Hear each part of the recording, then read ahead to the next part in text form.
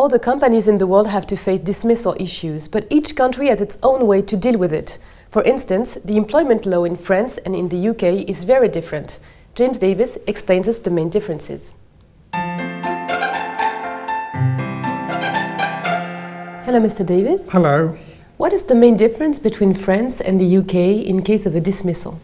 Well, I think from speaking to my French employment law colleagues, the most important difference is the significance of discrimination claims in uh, British dismissal cases. And I think there are three reasons for this. The first reason is that in order to bring a basic unfair dismissal ca case in the UK, you need to have been employed for two years, whereas in a discrimination case, you can bring it from the first day of employment. The second is the amount of compensation that's available. Um, in a discrimination case, the compensation is unlimited and can be very significant, whereas in an unfair dismissal claim, the compensation is limited.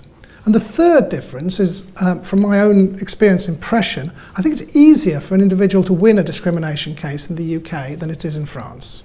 Are there any other differences? Well, an another difference is the role of documents in uh, France and the UK.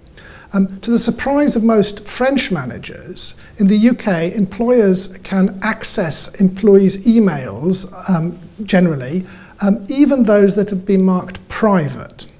Another difference with the documents is the employer in the UK has to disclose all documents, even those that are not helpful to the employee's case. And it's a serious matter if the employer doesn't do that.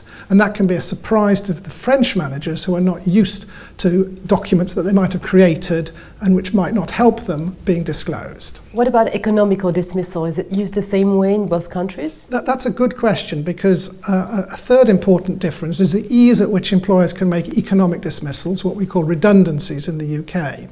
The courts and tribunals rarely look at the underlying business reasons for the uh, dismissal and the employer can make small changes to a job in order to justify the replacement of one employee by another for economic reasons and that can take a short period of time, perhaps a week, and is a pretty safe way of dismissing somebody.